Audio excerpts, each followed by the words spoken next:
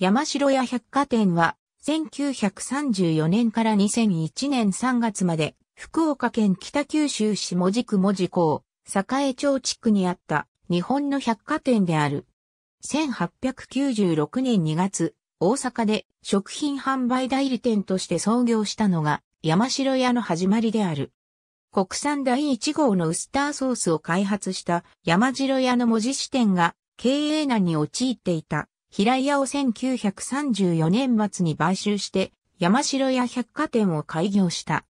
国際貿易港として栄えた文字港の中心商店街の栄町地区の繁栄を象徴する北九州最古の百貨店として営業していた。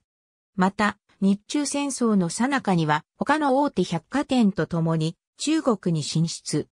1939年に上海に支店として食料品店を出店していた。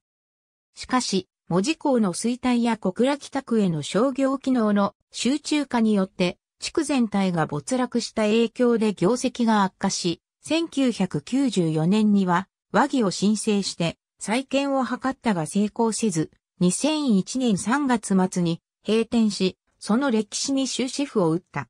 文字港レトロ地区にある跡地は西日本鉄道が買収し、1階が商業施設となったマンション、サンリアンモジコを建設した。ありがとうございます。